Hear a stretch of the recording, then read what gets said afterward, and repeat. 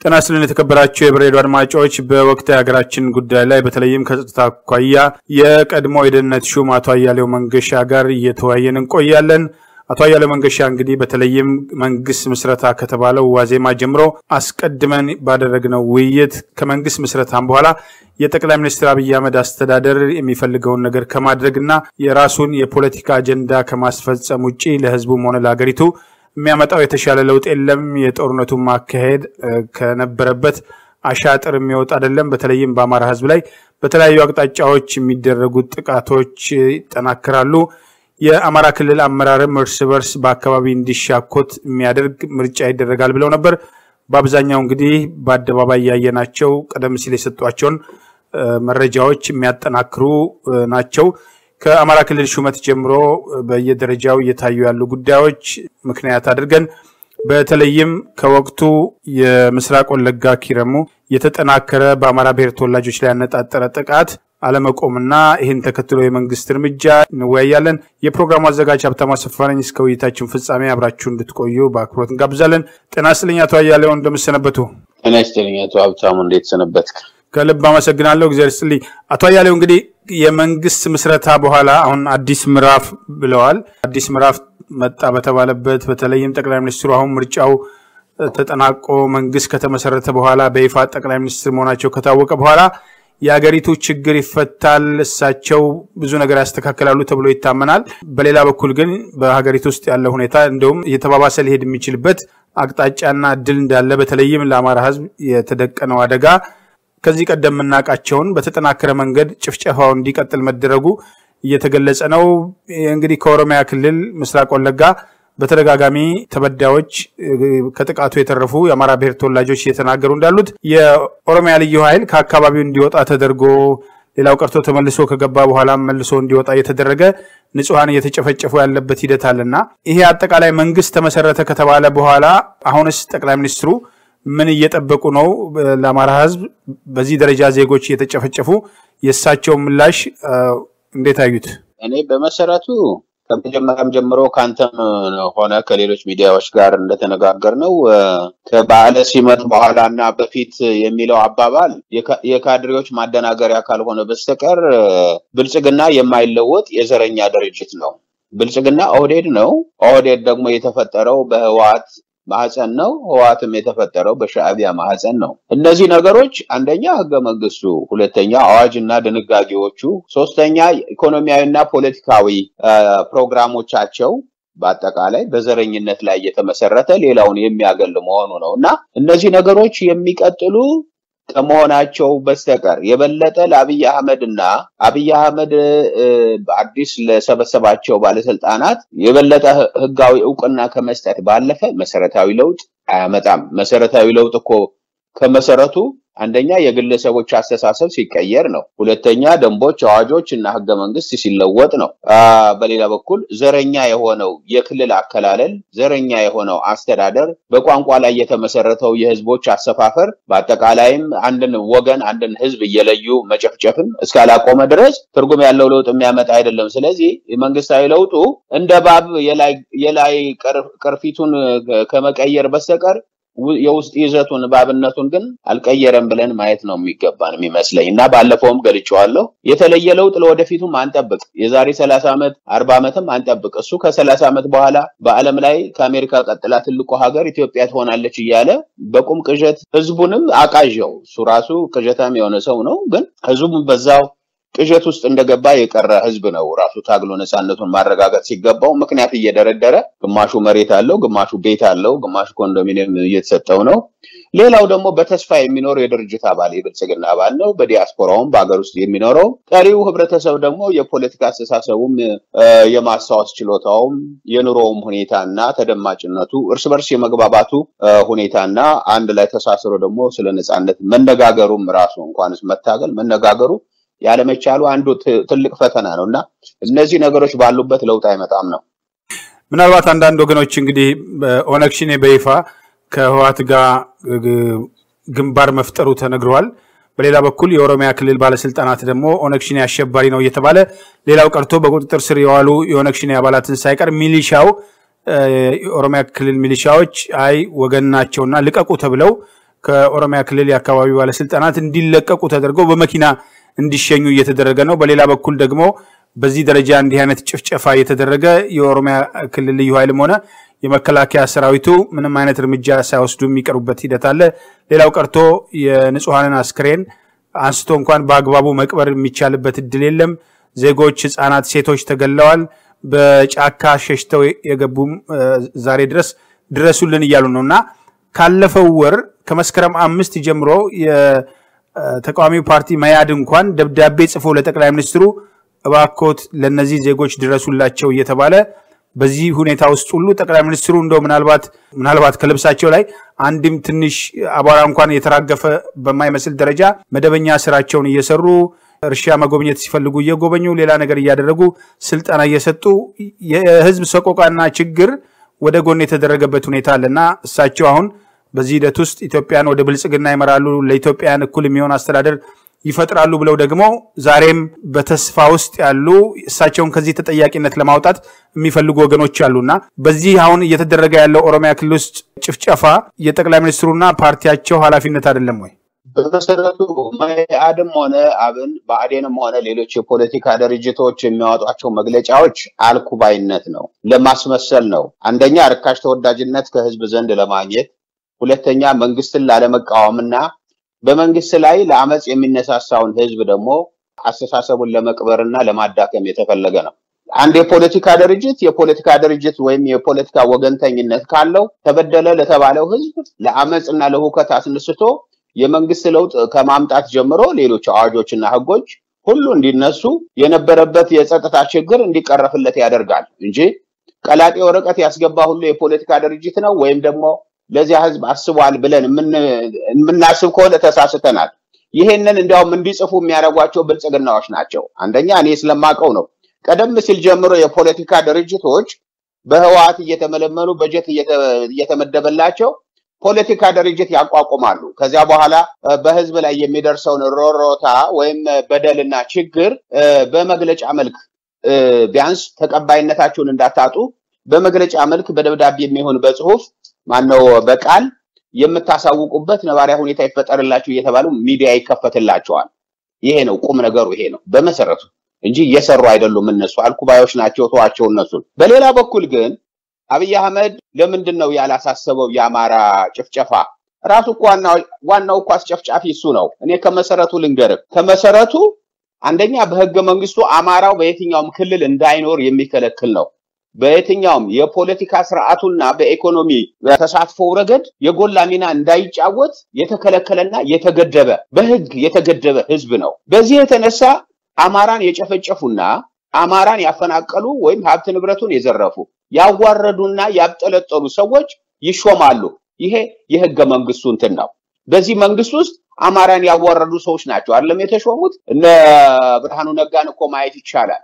ሌሎቹም ቢሆኑ እነ ታዬ ደንደአን ማየት ይቻላል። እነ ሽመልስ አብዲሳ፣ ሌሎችም ሌሎችም በሙሉ የተሾሙት እኮ በመሰረቱ አማራን ስላጥላሉ ነው። ስለ አማራ ማን ሊጨነቅ ይችላል? ለአማራ ለአማራ ክልል ርዕሰ መስተዳደርነት ይልቃል ከፋለ የሚባል ሰው ተመረጠለት። ዛሬ የሱ እሱ ወክለዋለሁ ያለ ህዝብ እያለቀ እሱ ግን አርሲ ድረስ ሄዶ የኦህዴድ ካድሬዎችን እርሻ ይጎበኛል። አገኘው ተሻገርም እኮ ይህን ነው የሰራው። እኔ እኮ ብያቸዋለሁ ቀደም ሲል ትናንትና ከጎንደር የተወለደ አገኘው ተሻገርን አንስተው ከጎጃም የሚወለድ ደግሞ ሌላ ሰይጣን ነው የሚያስቀምጡብን። ከአንድ ሰይጣን ወደ ሌላ ሰይጣን ነው የሚያስቀምጡብን።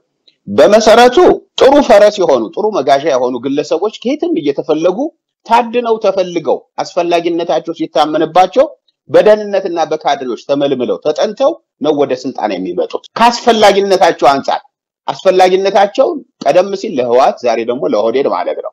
ስለዚህ ከዚህ በመነጨ ነው አብይ አህመድ ልንገርህ ምን ያህል በጭፍጨፋው ተሳትፎ እንደነበረው ልመጣልህ ነው። ለምሳሌ በ1994 ጁነዲን ሳዶ የኦሮሚያ ፕሬዚደንት በነበረ ጊዜ ምዕራብ ወለጋ ሆሮ ጉድሩ ኪረሙና አካባቢው በነበረ አማራ ላይ ጭፍጨፋ ተካሂዷል። የጨፈጨፈው ያን ጊዜ ኦነግ የለም፣ የኦሮሚያ ልዩ ኃይል ነው። እኔ በአይን ያየሁትን ነው የምነግርህ። የኦሮሚያ ልዩ ኃይል ጨፈጨፈው በመትረየስ በክላሽንኮ በተለያዩ መሳሪያዎች ዝም ብሎ ከፊት ለፊት የሚያዩትን አማራና ቤቱን በሙሉ አቃጠሉት። 13700 የሚሆኑ ተፈናቅለው ቡሬ ከተማ ገቡ። በ1994 ነው የምነግርህ። 391 ሰዎች ደግሞ ተገደሉ። አባይን ለመሻገር እየሮጡ እያለ ተመልከት። ይህንን ጁነዲን ሳዶ እንዲያስቆም የተለያዩ ሰዎች ሲጠይቁት አማራ ምን ይሰራል በክልላችን ነው ያለ። እንዲያውም ምን ሽፋን ሰጣቸው መሰለ? እንዲያውም ኢህአፓ አለባቸው ከውስጣቸው አማራ ሲሆን ኢህአፓ ነው የሚሆነው ብሎ ይህንን ስም አወጣላቸው። ሰሞኑን ለምሳሌ የታጠቁ ክፍሎችም አሉባቸው። ለዚህ ነው ግጭቱ የተፈጠረ ብሏል የኦሮሚያ ክልል የጸጥታ ዘርፍ።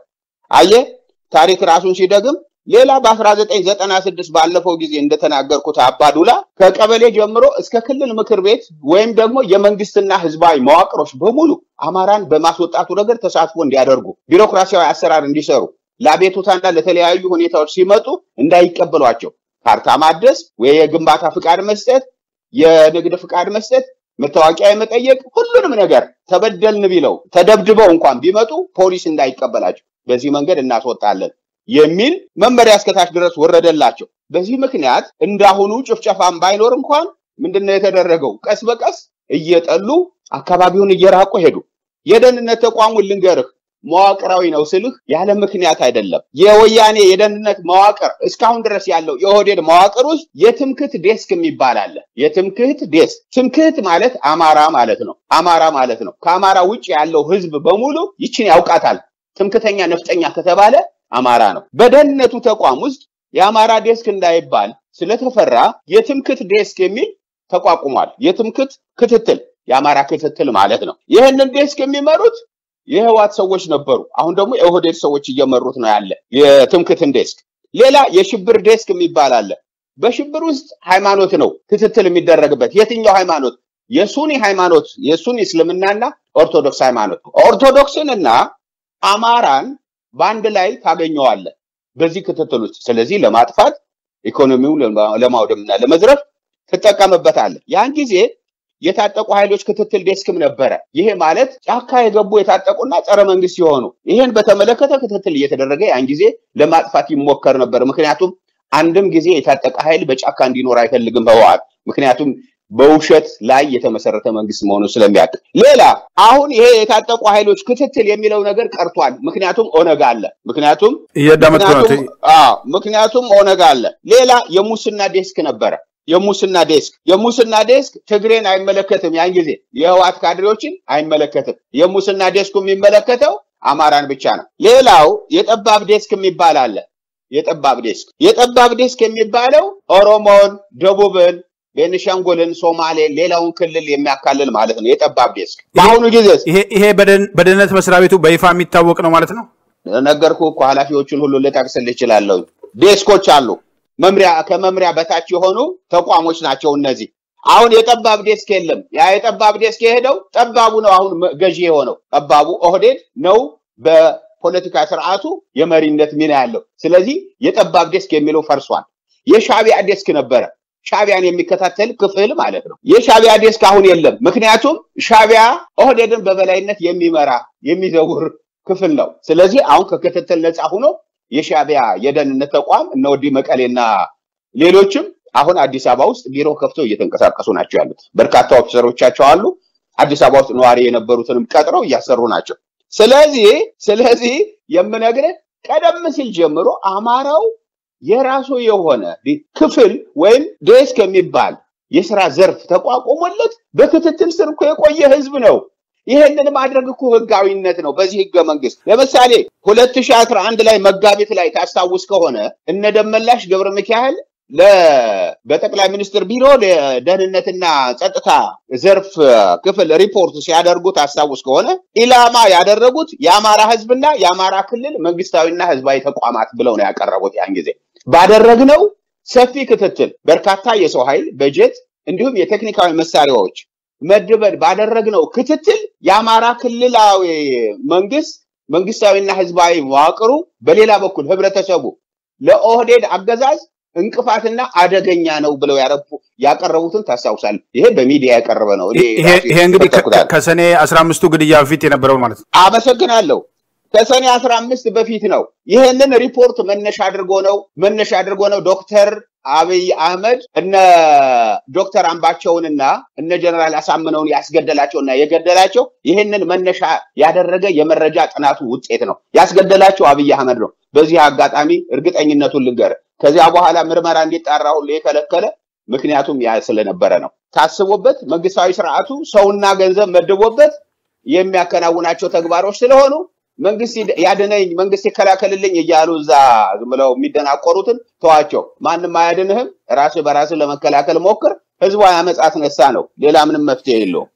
አቶ አያሌው እንግዲህ በአሁኑ ወቅት የአማራ ክልል የቀድሞ አስተዳደር ፕሬዚዳንት የነበሩት ለተወሰነ ጊዜ ከነ ዶክተር አምባቸው ግድያ በኋላ አቶ ተመስገን ጥሩነህ ናቸው። እሳቸው እንግዲህ የዶክተር አብይ አህመድ ጓደኛም የቅርብ ሰው እንደነበሩ ከዚህ ቀደም በተደጋጋሚ ራሳቸውም የሰጧቸው ምስክርነቶች አሉ። አብረው ይሰሩ እንደነበር ይታወቃል። እና አሁን ደግሞ የደህንነት መስሪያ ቤቱን ቀደም ሲል የሚመሩ ነበረ። የአማራ ክልልን እመራለሁ ሲል የነበረ ግለሰብ የሚመራው መስሪያ ቤት ዛሬም የአማራ ህዝብን ትምክተኛ desk የሚባል በመስሪያ ቤቱ ስር አለ ነው የሚሉኝ? ጥርጥር የለውም። እርግጠኛ ሆኜ ነው የምነግርህ። እንግዲህ ሌላው እሳቸው የደህንነቱ ዳይሬክተር ናቸው። ከእሳቸው በታች የዳይሬክተሩ ኃላፊነት በስሩ ያሉት ኃላፊዎች በሙሉ መረጃ እንዲሰጡት አይገደድም። እሳቸው የማያውቁት መረጃ አለ ማለት ነው። በዚህ ደረጃ ኦነግ ሸኔም ሌሎችም ታጣቂዎች ንጹሐን ላይ ጭፍጨፋ እያደረጉ ሚስጥር አይደለም በአደባባይ ሊገሉን ነው እየተባለ መንግስት ዝምታ የመረጠበት ሂደት አለና ይሄንን ከጠቅላይ ሚኒስትሩ ተጠያቂነት ለማንሳት የሚፈልጉ ወገኖች አሉና ይሄ ኦሮሚያ ክልል አካባቢ ያሉ አነስተኛ ባለስልጣናት ወይም የበታች ሹሞች ውጤት ነው ይሄ ጭፍጨፋ ወይም ለነሱ እድል መስጠት ኦነግ ሸኔን አይቶ እንዳላየ መሆን በፍጹም አይደለም። ሲሳይ ቶላ እኮ ነው ምክትሉ። ሲሳይ ቶላ ነው የደህንነት ተቋሙ ምክትል ይሁን እንጂ የኦፕሬሽን ክፍል ኃላፊ ነው። ከአሁን በፊት በተደጋጋሚ ገልጨዋለሁ። ሲሳይ ቶላ ማለት የውስጥ ደህንነት፣ የውጭ መረጃ፣ የጥበቃ ዋና መምሪያ የነዚህ ሶስት ሶስት ዋና መምሪያዎች ወይም የነዚህ ሶስት ዳይሬክቶሬት መስሪያ ቤቶች ኃላፊ ነው ይሄ ሰውዬ። እነዚህ operational ስራ የሚሰሩ ናቸው። operational ስራ ተመስገን ጥሩነህ እንግዲህ operational ስራ ማለት የደህንነት መስሪያ ቤቱን የዕለት ከዕለት ስራ የሚመራው አቶ ሲሳይ ቶላ ናቸው ማለት ነው። ሲሳይ ቶላ ነው። ለምሳሌ በወያኔ ጊዜ ጌታቸው አሰፋ ነው እነዚያን የሚመራቸው። ቁልፍ ቦታዎች ናቸዋ። የመረጃ ልውውጥ በፍጥነት action ወይም እርምጃ የሚወሰድባቸው ክፍሎች ናቸው። እነዚህ ኢሚግሬሽን፣ የስልጠና ማዕከሉ ወይም ኮሌጁ የስደተኞች እና ከስደት ተመላሾች ጉዳይ ዋና መምሪያ፣ እነዚህ የሚባሉት operational ክፍሎች አይደሉም። አንደኛው ማሰልጠን ነው፣ ሌላ ፓስፖርት መስጠትና ማደስ ነው። ሌላኛው ደግሞ ከስደት ወደ ስደት ሄደው የነበሩ የሚመለሱ ሊሴ ፋሴ የሚሰጣቸው ወይም ሌሎች የጉዞ ሰነዶች የሚመቻቹላቸው የእርዳታ ድርጅቶችን ደግሞ የሚከታተሉና አብረው የሚሰሩ ናቸው። ስለዚህ operational አይደለም። operational የሚባለው መረጃ ይሰበስባል፣ ለውሳኔ ያቀርባል። በውሳኔው መሰረት እርምጃዎች ይወሰዳሉ። እስራት፣ ግድያ ወይም ክትትል ወይም ሌላ ሊሆን ይችላል። አዲስ አዋጆች ለማውጣት የነበረውን አዋጅ ለማሻሻል ወይም የተለያዩ ተቋማዊ የሆኑ ስራዎችን ለመስራት እነዚህ ሶስቱ ቁልፍ ቁልፍ የጸጥታ ተቋሞች ስለሆኑ በእነዚህ በደህንነት ተቋሙ የሚመራቸው ቁልፍ የሆነ ሰው ታማኝ የሆነ ሰው ነው። ኢሳያስ ወልደ ጊዮርጊስ ከጌታቸው ስር ነበረ፣ ምክትሉ ነው። ይህንን አይመራም። እሱ የሚመራው ኢሚግሬሽንን እንደገና ትምህርት ማዕከልን እና ስደተኞች ጉዳይን ነበረ። ስለዚህ የምነግርህ ተመስገን ጥሩነህ ለደሞዝ የተቀመጠ ውክልና አማራ ነው ተብሎ እንዲሰየም የታሰበለትና የተቀመጠ ነው እንጂ ወሳኝ አይደለም። እሱ ሳያውቀው በርካታ መረጃዎች ከአብይ ጋር ከመከላከያ ኤታማዦር ሹም ጋር እና ከኢንሳ የኢንሳውም ኃላፊ ያው የኦህዴድ ሰው ስለሆነ እነሱ ራሳቸው የሚጨርሱት ነው። ተመስገን ጥሩነህ አሻንጉሊት ነው። ቢደርሰውም ደግሞ የሚናገርም አይደለም። ብሔራዊ ማንነቱን ሽጦ የበላ ነው። አማራ አማራ ትበሉ አማራ የሚል ንግግር መስማት አልፈልግም ያለ እኮ ቅጥረኛ ሰው ነው። ስለሚያልቀው ህዝብ ስልጣን የፈለገ ህዝብ አይደለም። ስልጣን የፈለገው ሌላ ህወሓት፣ ስልጣን የፈለገው ኦህዴድ እና ሌላው እንኳን እንደዚህ አትበል አልተባለም። ከእልቂት ለማትረፍ ግን ሰው በሆን ብቻህን በቂ ነው፣ ፖለቲካ መሪ እንኳን ባትሆን። ስለዚህ ይህን ያህል ምንም ስልጣን የለውም። የማያውቃቸው መረጃዎች ለአብይና ለሚመለከታቸው ክፍሎች የሚያደርሰው መረጃውም የሚደርሰው operational ሪፖርት ቀጥታ የሚደርሰው ለሱ ብቻ ነው፣ ለተመስገን ጥሩነህ አይደለም። የአገሪቱ ወዴት እየሄደች ነው? በዚህ ሁኔታ ውስጥ አዲስ ምዕራፍ እየጀመርን ነው። ፓርላማ ተቋቋመ ተባለ። ቀደም ሲል እንግዲህ ቢያንስ ለስልጣናቸው ሲረጋጋ አገር ሰላም ይሰጣሉ ተባለ። ነገር ግን አሁንም ጭፍጨፋውን ምንም እንዳልተፈጠረ አድርገው ልክ እነሱ እንደሌሉበት ተደርጎ በማግስቱ እየተነሱ መግለጫ ይሰጣሉ። ኦነግ ሽኔን እንደመሰስን ይባላል። የኦሮሚያ ክልል ይህ ምክትል የፖሊስ አዛዡ በአደባባይ በመንግስት መገናኛ ብዙኃን ቀርበው ኦነግ ሽኔ ከኛ ቁጥጥር ውጭ አይደለም ብለው መግለጫ ሰጥተዋል።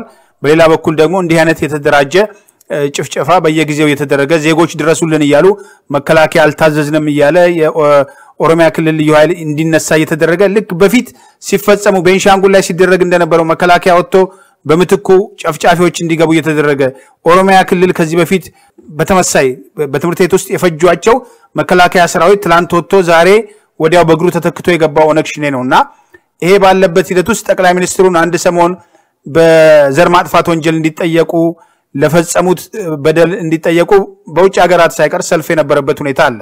አሁን ከዚህ ተጠያቂነት ነጻ እሳቸውን ማድረግ ይቻላል ወይ? አሁን ሁሉንም ኃጢአት እንግዲህ ህወሓት ፋሽስት ነው ፋሽስትነቱን በግልጽ ያሳየ ነው። እንግዲህ በአማራ ክልል በአፋር ክልል ምን እያደረገ እንዳለ የሚታወቅ ነው። እሱንም በአግባቡ ለመታገል ፍላጎት የላቸውም። ሰራዊቱ ሊዋጋ ሲል እጁን ይዛሉ። ከፍተኛ ውድቀት እየደረሰበት እያለ ወደኋላ ተመለስ የሚባልበት እነሱ ደግሞ የበለጠ የተጎዳውን ኃይል እየተኩ ያለበት ሂደት አለ እና ኦሮሚያ ክልል ያለውን ሁኔታ ውስጥ ከአቅማቸው በላይ ሆኖ ነው ወይ እውነት ይሄ ሁሉ ነገር ሲደረግ? አንድ ትልቅ ሚስጥር ልንገርህ። አንድ ትልቅ ሚስጥር በተለያየ ጊዜ የኦነግ ሰራዊት የኦነግ ሰራዊትን ዩኒፎርምና የኦሮሚያን ዩኒፎርም ሁለቱንም ዩኒፎርሞች ለየብቻ አንደኛውን በሻንጣ ይዘው ሌላኛውን ለብሰው የሚንቀሳቀሱ የኦሮሚያ ልዩ ኃይሎች አሉ። በሌላ በኩል የኦነግም ኦነግ የኦነግ ሰራዊትም የኦሮሚያም ልዩ ኃይል ዩኒፎርም አለው፣ የራሱ የኦነግም ዩኒፎርም አለው። እነዚህ ሰዎች እኮ ተመልሰው ሄደው የጨፈጨፏቸው ሲጠብቋቸው የቆዩ መረጃ ሲሰበስቡና ማን የት ቤት እንዳለ የተረዱ ምን ያህል ቤተሰብ እንዳለው ያዩ እነዚሁ ልዩ ኃይሎች መልሰው የኦነግ ልብስ የኦነግ ዩኒፎርም ለብሰው ተመልሰው ሄደው የጨፈጨፏቸው መሆኑን ነው የማረጋገጥልን። አንድ ሚስጥር ልንገርህ። በተለያየ ጊዜ ይሄ ስለተሰራ ነው። artificial ሰው ሰራሽ የሆነ ፀጉር ከሽፍትነት የመጣ ለማስመሰል ልዩ ኃይሉ በውሸት ያንን የውሸት ፀጉር እያደረገ የኦነግን ልብስ ለብሶ የኦነግን ትጥቅ ይዞ በቀጥታ እየሄደ የጨፈጨፈበት። በሌላ ጊዜ ግን ልዩ ኃይሉ በሰፈረበት አካባቢ ሲታይ ያ ሰውዬ ተመሳሳይ እነዚያ ሰዎች ተመሳሳይ ሆነው የተገኙበት አጋጣሚ አለ። እኔ ልንገርህ አሁን አብይ አህመድ ስላላስቆም አይደለም። አብይ አህመድ እኮ አስፈጻሚ ነው። አብይ አህመድ እኔ ልንገርህ በ1996 ማነው በ1999 እና 2000 ዓመተ ምህረት ሙክታር ከድር የሚባል በ2009 አካባቢ የኦሮሚያ ክልል ፕሬዚደንት የነበረና መኖሪያ ቤቱን ለአዜብ ለአዜብ መስፍን ከቤተ መንግስት ስትወጣ የለቀቀላት ማለት ነው። አመስግና እንዲያውም በስብሰባ የተናገረች ሙክታር ከድር የጅማ ልጅ ነው። የአጋሩ አካባቢ የዛው የጅማ ዙሪያ ሰው ነው። ሙክታር ከድር ከአምስተኛ እስከ ስምንተኛ ክፍል ድረስ አልተማረም። ከአምስተኛ እስከ ስምንተኛ ክፍል ድረስ የነበረውን የትምህርት ማስረጃውን አሰፋ የሚባል የወሎ ተወላጅ የሆነ አማራ የጅማ የብአዴን የብአዴን ተወካይ የሆነ መምህር የመተዳደሪያ ስራው መምህር የሆነ አሁን ግን ኦሮሚያ ገጠር መንገዶች ስራ ሳር ቤት አካባቢ ተቀይሮ በእድገት የሄደ ሰው ነው ማስረጃ የሰጠውና ከስምንተኛ ክፍል ጀምሮ እስከ አስራ ሁለት እንደገና እንደ አዲስ ጀምሮ የተማረ ይሄ ሰውዬ። አስራ ሁለተኛ ክፍል ምንም ውጤት የሌለው ከዚያ በኋላ ሲ ከወጣ በኋላ በ1999 እና 2000 ዓመተ ምህረት ገጀራ ባይሱዙ ከመርካቶ እያመላለሰ ባሻሻና አጋሮ ዙሪያ ለነበሩ የኦህዴድ አባላትና ሙስሊም አክራሪዎች ናቸው ለሚባሉ ሰዎች ገጀራውን አድሎ ቤተክርስቲያናት መነኮሳትና ካህናት የተገደሉበትና የተቃጠሉበት ነባራዊ ሁኔታ ተፈጥሮ ነበር። ያ ባሻሻ ማለት ደግሞ አብይ አህመድ ከዚህ ሁኔታ ጋር ትስስር ያለው ሰው እንደሆነ ያን ጊዜ ሽማግሌዎች ቀርበው አባዱላ ገመዳ በጅማ ጅማ ሂደህ ገምግም፣ ህብረተሰቡ ለሰልፍ ሊወጣ ነው፣ አመፅ ሊያነሳ ነው ብሎት መለስ ዜናዊ ያን ጊዜ አመፁ ነው የተፈራው። አማራ ማለቁን ተፈልጎ ነው የተደረገው። መንግስታዊ ፍጅት ነው። ግን ጅማ ደጃዝማች እንቁ ስላሴ ደጃዝማች ፀሐዩ እንቁ ስላሴ ባሰሩት አዳራሽ ቤተ መንግስት አለች፣ ትንሽ አዳራሽ። በዛች አዳራሽ ውስጥ የአጋሮ ዙሪያ ሽማግሌዎች፣ የሃይማኖት መሪዎች፣ በንግድና በእርሻ ስራ የሚተዳደሩ ሰዎች ታዋቂ ግለሰቦች እና ፖለቲከኞች በተገኙበት ስብሰባ ላይ አባዱላ ይገመግም ነበር። እኔ በስብሰባው ላይ ነበርኩኝ። ያስጨፈጨፈን ገጀራ እያቀረበ ሙክታር ከድር ነው ብለው ህዝቡ አቀረበ። በሌላ በኩል አብይ አህመድ ያን ጊዜ ታዋቂ አይደለም እሱ መከላከያ ውስጥና ኢንሳ ውስጥ እንደዚህ ያለ ሰው ነው።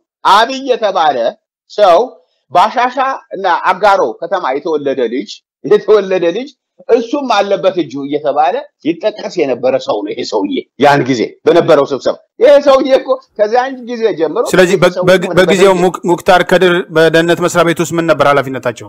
የኦህዴድ ካድሬ ነው። የደህንነት ሰራተኛ ሳይሆን የኦህዴድ ካድሬ ነው። የጅማ ኦህዴድ ካድሬ ነበረ። በኋላ የኦሮሚያ ክልል ፕሬዚደንት የሆነ ከለማ መገርሳ በፊት ማለት ነው። ይሄ ሰውዬ ነው። ተመልከት እና ያን ጊዜ አብይም ስሙ ሲጠቀስ ነበረ። የአብይ ቤተሰቦችም ስማቸው ሲጠቀስ ነበር። አብይ እኮ አብይ አሁን አርሲ ወደሚገኙት ወደሚገኘው የኦህዴድ ካድሬዎች እርሻ መሄዱ አይደለም። የወሎ ህዝብ እኮ በአንበጣ ሲወረር አርሲ እሱ እርሻ ይጎበኝ ነበረ እንዴ።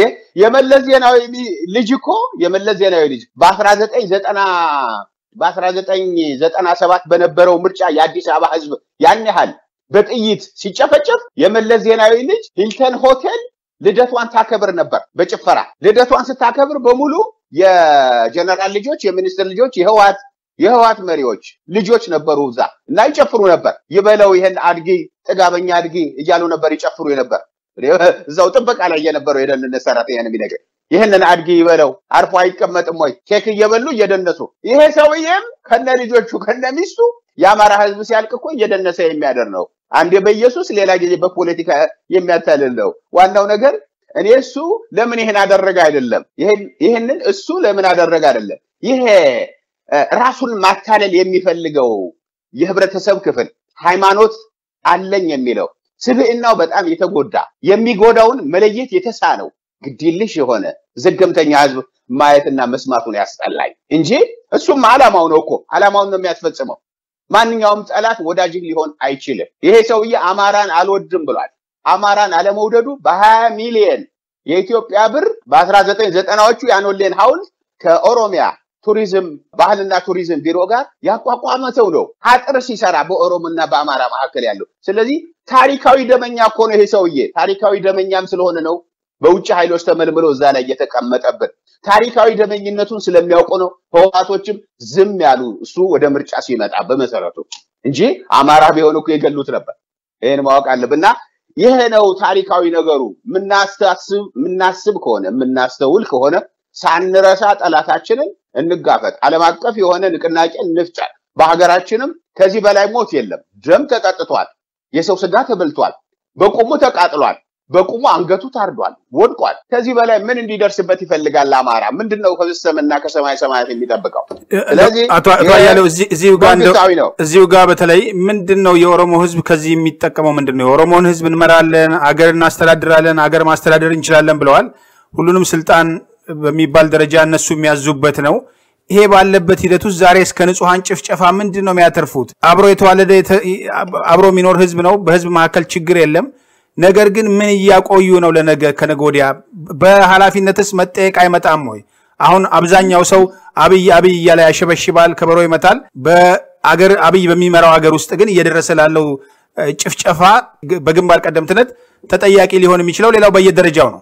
ቀደም ሲል እንግዲህ ከአቶ መለስ ጋር ማንም ከትግራይ ስለመጡ ከምን ስለመጡ አይደለም የሚሰሩትን እሱ በሚመራው አስተዳደር ውስጥ ሲፈጸም የነበረውን ጭፍጨፋ በመቃወም ነው ሰው መለስ መለስ የሚለው እንጂ መለስ ሲተኩስ በአይኑ ያየ የለም። ስለዚህ እሱ እሱ የሚመራው አስተዳደር ግን ግደል ሲባል ይገላል፣ የእሱ ወታደር ጨፍጭፍ ሲባል ይጨፈጭፋል፣ እሰር ሲባል ያስራል፣ ያን ሁሉ ነገር ያደርጋል። ስለዚህ አብይ አህመድን ከዚህ ተጠያቂነት ለማውጣት የሚደረገው መፍጨርጨር ራሱ ለአማራ ሕዝብ አስባለሁ ወይም አማራ ነኝ የሚለው ኃይል ጭምር ነው እየደገፈ ያለው የሚል ወቀሳም ይቀርባልና ከዚህ አኳያ ትክክል ነው።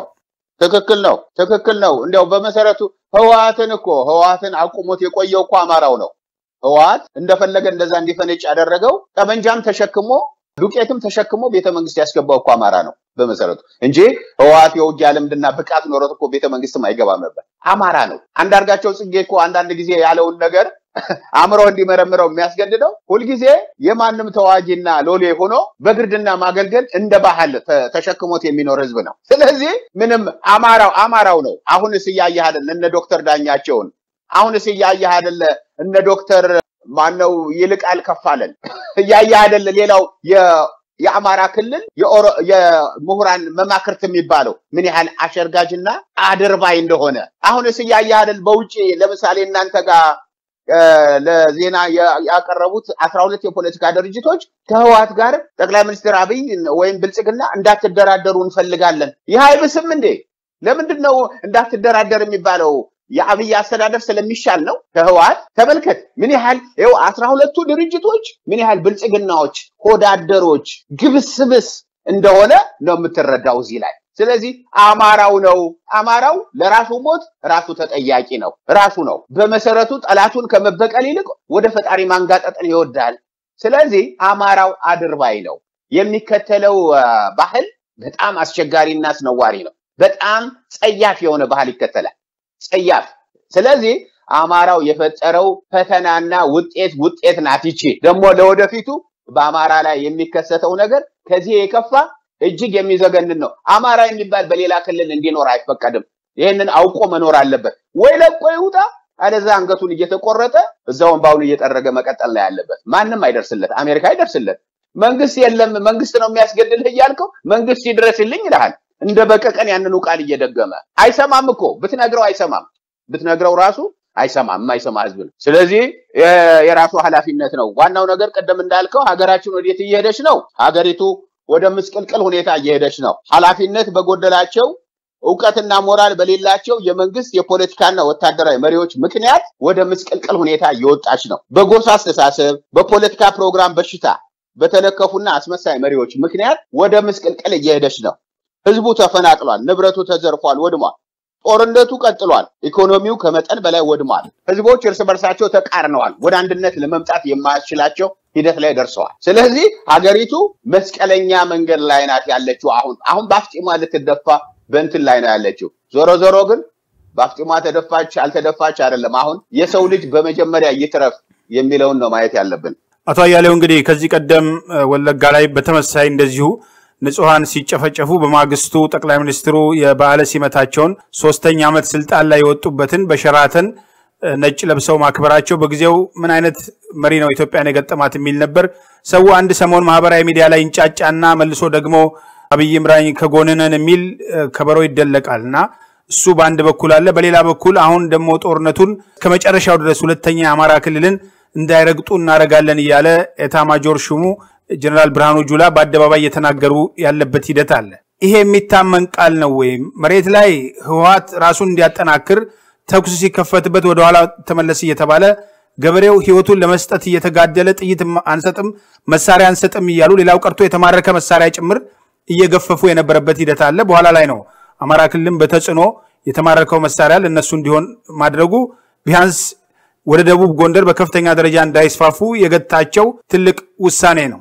ዛሬም ጦርነቱን ገፍተን ከአማራ ክልል እናስወጣለን የሚለው በእርግጥ ይሄ አስተዳደር ይታመናል ወይ? በዚህ በኩል ንጹሐን እየተጨፈጨፉ ትላንት ከትላንትና ወዲያ አቶ ሽመልስ አብዲሳ የተናገሩት ቁማር ነው እየተፈጸመ ያለው። አንድ አገር አንድ ሰው በሚመራው አገር ውስጥ በዚህ ደረጃ ንጹሐን ተጨፍጭፈው በይፋ ሀዘን መግለጽ እንኳን ቅንጦት የሆነበት ሀገር ላይ እነዚህን አምኖ አሁን የተወረሩትን የሰሜን ወሎ አካባቢዎችን ሌሎችንም ነፃ ማውጣት የሚቻልበት እድል አለ ወይ? ምንድን ነው ምርጫው? የአማራ ህዝብ እኔ ልንገርህ እኔ ልንገርህ ይሄ የሚገናኙበት ሆቴል አለ ኤሌሌ ነው ምናምን የሚባል የኦህዴዶች የኦህዴዶች ሆቴል አለ አዲስ አበባ እና እዛ ሆቴል ውስጥ ሲገናኙ አንተም በዜና በአንድ ወቅት ገልጸኸዋል።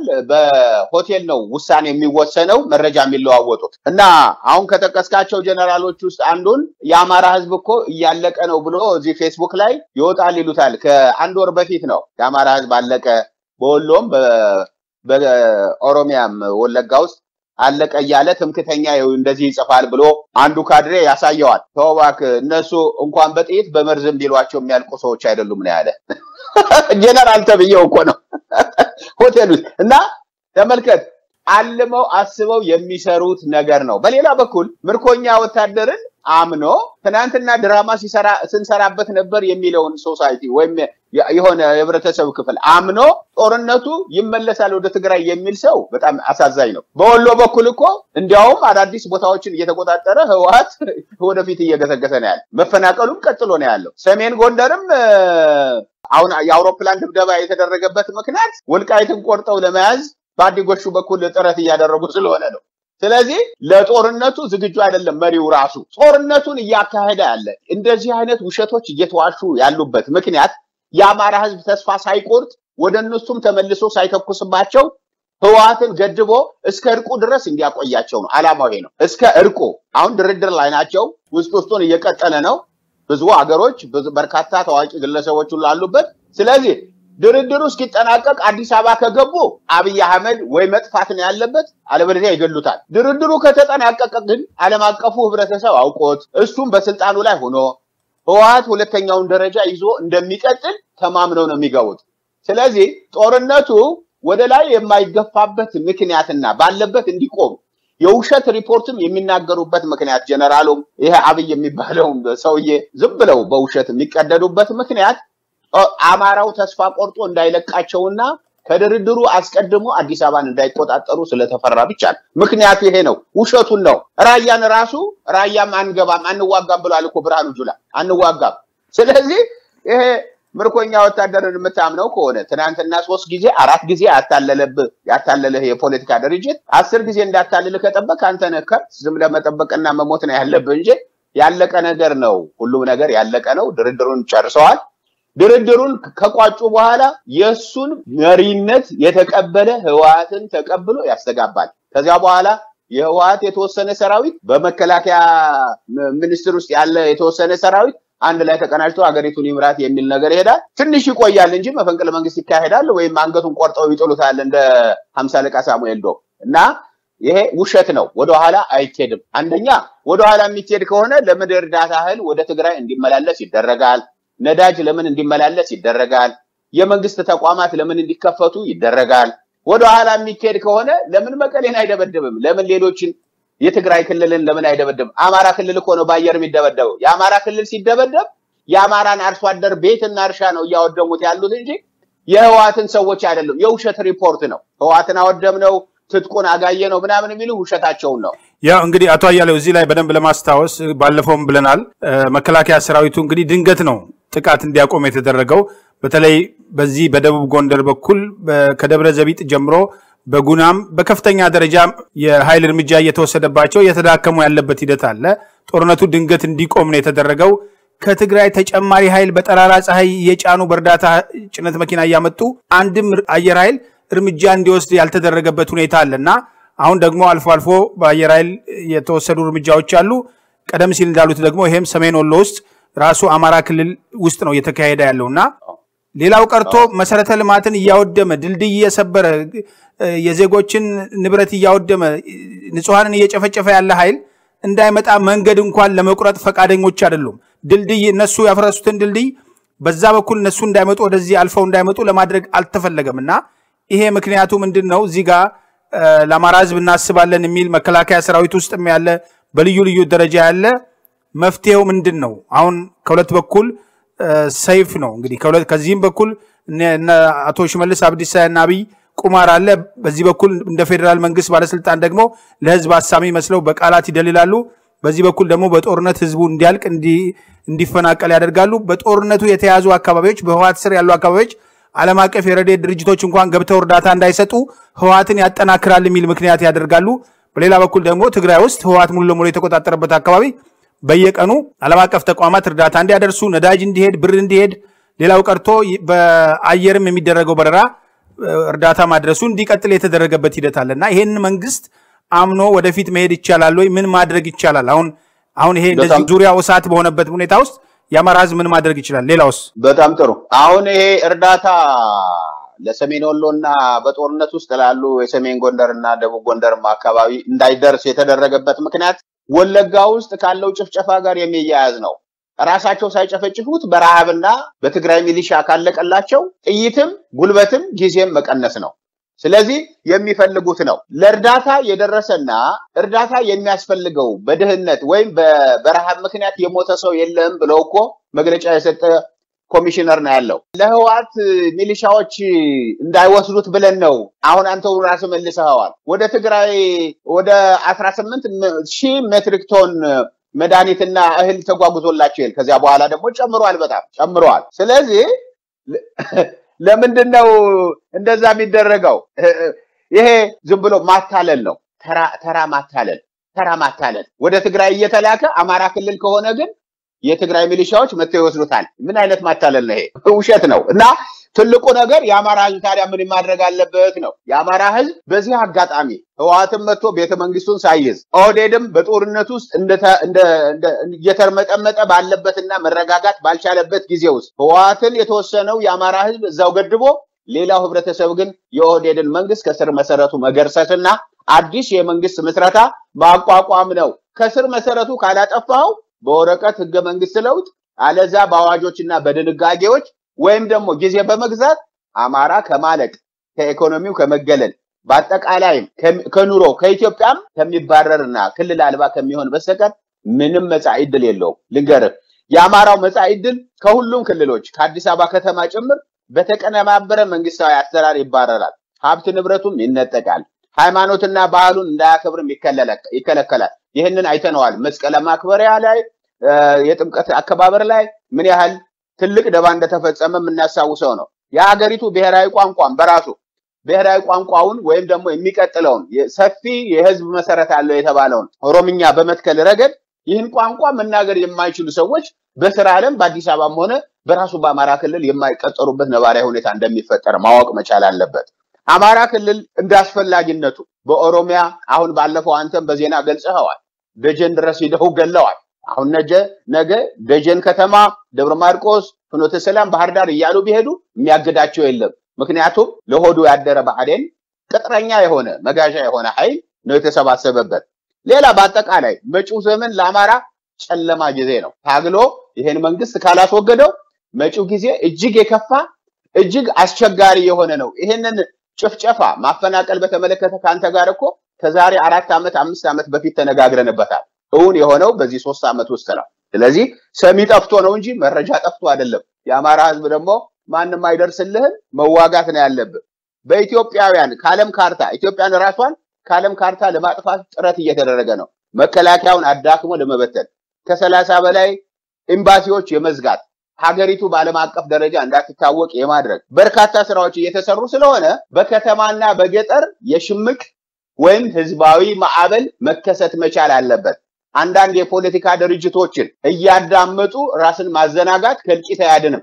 አብንም መግለጫ ከማውጣት ባለፈ ህዝቡ ለአመፅ በሚነሳበት ጊዜ በሰለጠነ መንገድ ነው የምናነጋግር እንጂ ማመፅ የለባችሁም እያለ የሚያነጋግር የሰለጠነ ጭቆናን የተቀበለ ህዝብ ነው የሰለጠነ የሰለጠነ ህዝብ እኮ ነፃ የወጣ ህዝብ ነው በመሰረቱ። ስለዚህ እነዚህ ባንዳ የሆኑ ሰዎች ባንዳ የሆኑ የፖለቲካ ድርጅቶችን መስማት አይጠበቅም። ለመጨረሻ ጊዜ ስር ነቀል ለሆነ ለውጥ መስዋዕትነት ለመክፈል ሁሉም ተዘጋጅቶ እርስ በርሱ እየተናበበ ማመፅ መቻል አለበት። አለበለዚያ መከራው እጅግ የከፋ ነው የሚሆነው። በተለይ ህወሓት ሲመጣ ደግሞ ሁለቱም አንድ ላይ ተቀላቅለው ያጠፉታል። ይህን ነው ማለት የምፈልገው። ምናልባት የሚቀጥሉትን ጉዳዮች በትክክል አይቶ ተገንዝቦ በየአካባቢው እያንዳንዱ እርምጃ መውሰድና ኃላፊነቱን መወጣት ያለበት ይመስላል። ህዝቡ ተባብሮ ይህን ስርዓት ከራሱ ላይ እስካላወጣ ድረስ መንግስት ይድረስልኝ የሚባል ነገር መንግስት ማጅራት የሚመታበት ሀገር ይሄ ሁሉ ንጹሐን እየተገደሉ እየተጨፈጨፉ ባለፉት ሶስት ዓመታት በላይ ጠቅላይ ሚኒስትሩ በተደጋጋሚ የሚወስዷቸው እርምጃዎች ተመሳዮች ናቸው። ንጹሐን ሲጨፈጨፉ እሳቸው የሆነ ቦታ ሄዳሉ፣ የሆነ ነገር ያደረጋል። ምንም እንዳልተፈጠረ ነው እዛ ሀገር ላይ የሆነ ያለውና እንዲህ አይነት ክህደትና በህዝብ ላይ የተቀነባበረ ጭፍጨፋ እየተካሄደ እሳቸውን ከዚህ ተጠያቂነት ለማውጣት የሚፈልጉ ወገኖች መንቃት ያለባቸው ጊዜ ይመስላል። በሌላ በኩል አማራ ክልል ይሄ ሹመቱን ተከትሎ ባለፈው እርስዎ ያነሱት ነገር በጣም የሚያስገርም ነበር። ያለፈውን ቃለ መጠይቅ እንግዲህ ከሹመቱ በፊት ነው። ያላደመጡት ሰዎች ሄድ ብለው ማድመጥ ይችላሉ። የአማራ ክልልን ጎጃም፣ ጎንደር፣ ሸዋ፣ ወሎ እየተባለ በስልጣን ለመከፋፈል የኦሮሞ ብልጽግና ፓርቲ ከጀርባ እንደሚሰራ የተናገሩት ነገር አለ። ሹመቱ በሚገርም ደረጃ አቶ አገኘሁን እንደ ጎንደሬ ወይም እንደ ጎንደር ተወካይ አድርጎ የሚያስበው ኃይል የእሳቸው ከዛ ቦታ መነሳት የተወሰነ ቅሬታ ፈጥሯል። በሌላ በኩል ደግሞ የዶክተር ይልቃል ወደዛ ወደ አዲሱ ቦታ መምጣት ደግሞ በሌላ በኩልም እንደዚሁ አስተያየት እየተሰጠ ነው።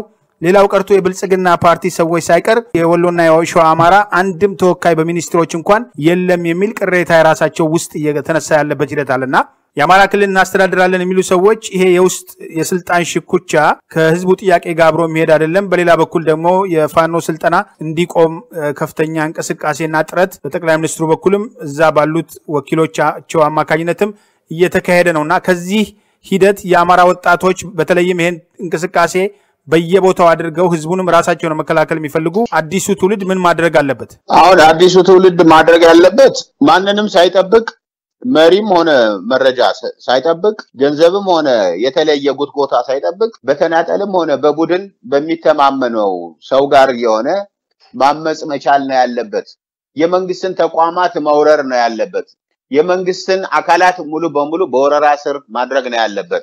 ቁልፍ ተቋማት የሚባሉ የሬዲዮ፣ የቴሌቪዥን፣ የቤተ መንግስት፣ የመከላከያ፣ የፖሊስ፣ የደህንነት ተቋማትን መውረር መቻል ነው ያለበት።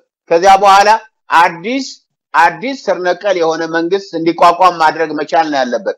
እንደባለፈው ትግሉና ድሉ መጠለፍ የለበትም። በነገዱ አንዳርጋቸውና በነደመቀ መኮንን የአማራ ህዝብ እልቂት፣ የአማራ ህዝብ ደም ውጤቱ ለኦህዴድ በሽያጭ መልክ ቀርቦ ነው እነሱ ባለስልጣን ሆነው እንዲቀጥሉ የተደረገው። የአማራ ህዝብ ግን ግማሹ አፈር በልቶት ቀርቷል፣ ግማሹ ደግሞ አካለ ስንኩል ሆኗል። ከፊሉ ከኑሮው ተፈናቅሎ በችግር ላይ ነው ያለው። ተስፋ ቢስ የሆነ በርካታ ህብረተሰብ ነው ያለው። አሁን የጎንደር ህዝብ ቀን ቀን ወጥቶ ማታ እንደሚገባ እርግጠኛ ሳይሆን ነው የሚወጣው። መንግስት ሰራተኛው፣ ነጋዴው፣ ሌላው ነዋሪ። ጠላፊዎች አሉ፣ በርካታ ገንዘብ ይጠይቃሉ። እቃ ከቦታ ቦታ በሚያዘዋውርበት ጊዜ ከፍተኛ ገንዘብ ይጠየቃል። ሳይፈልግ እኔ እሸከምልሃለሁ ይባላል። አንድ ፌስታል ሙሉ እቃ እንኳን በፌስታል የተሸከመ ሰው አንተ መሸከም የለብህም እኔ የምበላው ስለሌለኝ እኔ ተሸክም ያደርስልሃለሁ። በፌስታል ውስጥ ካለው እቃ ዋጋ በላይ እየከፈለ ሰላሙን አጥቶ የሚኖር ህብረተሰብ ተፈጥሯል። ስለዚህ ከዚህ በላይ ውርደት ስለሌለ ወጣቱ እርስ በርስህ እየተነጋገር የፖለቲካ ድርጅቶችን ውሳኔና ንግግር ሳትከተል የመንግስትን ማታለልና ማጭበርበር ሳታዳምጥ በመሰረቱ በገጠርና በከተማ ህዝባዊ አመፅ ማድረግ ጊዜው አሁን ነው። ይቺ ጊዜ ወይም ስድስት ወር ካለፈች በኋላ ግን እነሱ ተደራድረው ወደ አንድ ጠንካራ መንግስት ከመሰረቱ በኋላ ግን ወይም የፈለጉትን አገር ከመሰረቱ በኋላ ግን ወዴትም መፈናፈኛ የለህም። ዝም ብለህ ቆመህ እልቂትህን መቀበል ብቻ ነው የሚኖርበት። መንግስት የሚባል የለም። አንተን የሚወክል መንግስት የለህም። መንግስት ስለሌለ አንተንም የሚወክል እንኳን መንግስት የሃይማኖት መሪ የለህም። እልቂትህን ቀና ብሎ የሚናገር መሪ አላገኘህም። ትናንትና ትግራይ ውስጥ ጭፍጨፋ፣ አስገድዶ መድፈር፣ ዘረፋና የተለያዩ ነገሮች ተፈጸሙ ተብሎ ከላይ ከፓትርያርኩ ጀምሮ በእንባ የታገዘ ከፍተኛ ቅስቀሳ ይደረግ ነበረ። በእንባ የታገዘ ድራማ በውጭ ያለው የህወሓት አባላት መንገድ ላይ እየተንከባለሉ በእንባ የታገዘ ድራማ ይሰሩ ነበር። የሃይማኖት መሪዎችም ውክልናቸውን ለመፈጸም በእንባ የታገዘ ድራማ ሰሩብን። አማራው ሲያልቅ ግን በእንባ አይደለም፣ እልቂቱን ማውገዝ እንኳን አልተቻለም። አብያተ ክርስቲያናት ካህናትና መነኮሲያት ሲያልቁ ግን እልቂቱን እንኳንና ውድመቱን የሚያወግዝ የሃይማኖት መሪ ጠፍቷል። ስለዚህ እንኳን የፖለቲካ መሪ የሃይማኖት መሪ የለህም። መሪህንም አባትህንም ራስህ ፍጠረው፣ ታገልና ነፃ ውጣ። አለበለዚያ እልቀት ይቀጥላል። በመሰረቱ ከሱዳን ከሱዳን የቤጃ ጎሳ ወይም ብሔር ብዙ መማር ይችላል የአማራ ህዝብ። የቤጃ ጎሳ እኮ ነዳጅ በበራችን እያለፈ ቱባው ወይም ቧቧው ተጠቃሚዎች አይደለንም። የኢኮኖሚና የፖለቲካ ተሳትፎ የለንም። ስለዚህ የነዳጅ መተላለፍ አይገባውም ብለው ነው ያገዱት። የአየርና የየብስ ትራንስፖርት እንዲቋረጥ ነው ያደረጉት። በዚህ ምክንያት የሱዳንን መንግስት በአንድ እግሩ ነው ያቆሙት። ምነካ አማራ በዓለም ላይ ያልተፈጸመ ግፍ ተፈጽሞብሃል፣ ግን ተኝተህ ታንቀላፋለህ። ተኝተህ ካንቀላፋህ እንባህን እየጠረግ ከአንገትህ እስኪቆረጥ ድረስ ጠብቅ።